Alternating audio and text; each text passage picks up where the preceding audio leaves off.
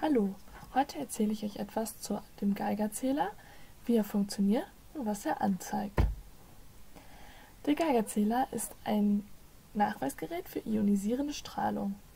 Er bringt einen guten Nachweis von Alpha- und Beta-Strahlung, jedoch nur Gammastrahlung zu einem kleinen Teil nachweisbar. Das Zählrohr ist meist an einen Digitalzähler oder einen Lautsprecher angeschlossen. Der Geigerzähler wurde 1928 von Walter Müller und Hans Geiger entwickelt. Was ist radioaktive Strahlung? Radioaktive Stoffe enthalten Radionuklide. Sie besitzen einen instabilen Atomkern, welcher spontan zerfällt. Dabei wird energiereiche ionisierende Strahlung abgegeben. Es gibt verschiedene Strahlungsarten. Zum einen die Alpha-Strahlung. Bei der Alpha-Strahlung handelt es sich um eine Teilchenstrahlung. Die Teilchen bestehen aus zwei Protonen und zwei Neutronen. Diese Teilchen werden stark abgebremst von der Materie und haben daher eine sehr geringe Reichweite.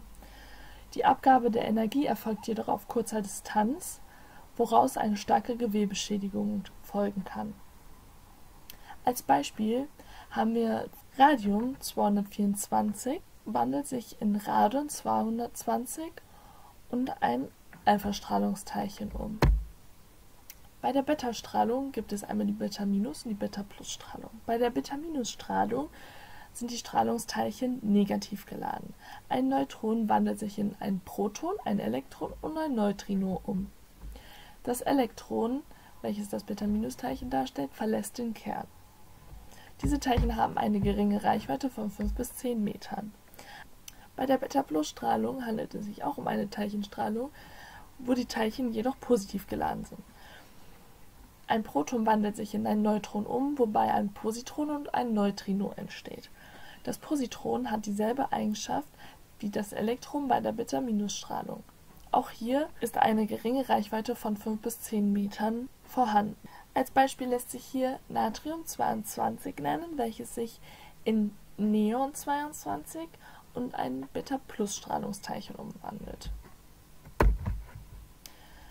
Zuletzt gibt es noch die Gammastrahlung, welches eine elektromagnetische Strahlung ist, welche entsteht bei der Rückkehr in einen weniger angeregten Zustand.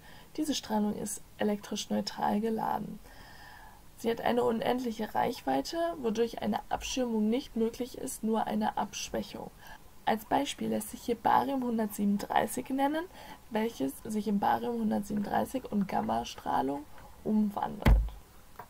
Der Geigerzähler hat als zentrales Bauteil eine Metallröhre, welche mit Edelgas befüllt ist. Diese stellt die Kathode dar. Edelgas wird als Füllung verwendet, da diese keine Elektronen abfangen und das Ergebnis verfälschen. An zentraler Achse in der Röhre ist ein Wolframdraht. Dieser wird als Anode bzw. Zähldraht verwendet. Zwischen Anode und Kathode liegt eine Spannung an. Durch die eintretende ionisierende Strahlung werden Elektronen von den Gasatomen abgespalten. Aufgrund der hohen Spannung bewegt jedes einfallende Teilchen eine selbstständige Gasentladung. Dies bedeutet, dass jedes Elektron mindestens ein weiteres Elektron löst, bevor es die Anode erreicht. Dies nennt man auch den Kaskadeneffekt. Die Elektronen wandern zum Pluspol und müssen dabei einen großen Widerstand überwinden oder durch ein Zählgerät fließen.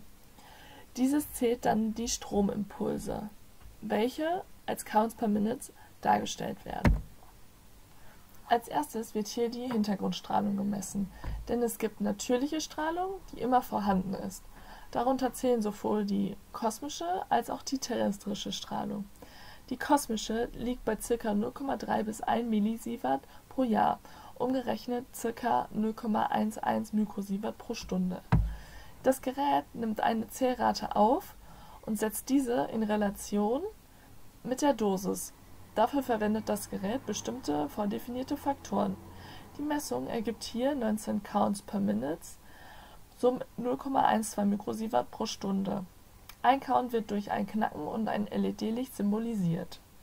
Das Uranglas ist ein Glas, welches Uranoxide enthält, wodurch die grün-gelbliche Färbung verursacht wird. Früher im 19. Jahrhundert wurde dies in großen Mengen produziert. Die Strahlung ist jedoch sehr gering, eine Gefahr für die Gesundheit besteht deshalb nicht. Uranoxid ist in der Glasmasse gebunden und kann nicht so leicht herausgelöst werden. Die Messung ergibt hier 57 Counts per Minute, umgerechnet in 0,25 Mikrosievert pro Stunde, also circa das Zweifache der Hintergrundstrahlung